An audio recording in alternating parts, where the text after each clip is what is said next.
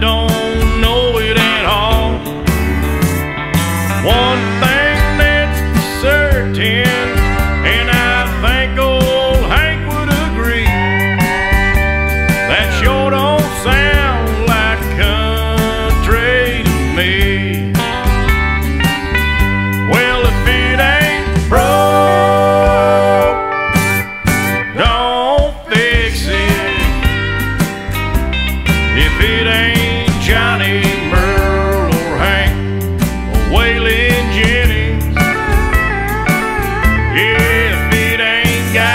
that honky tonk horn like Ernest Tubb had from the start.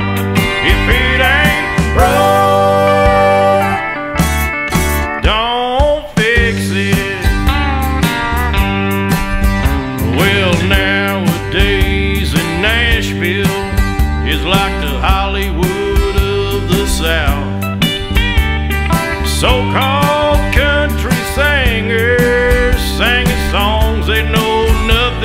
found.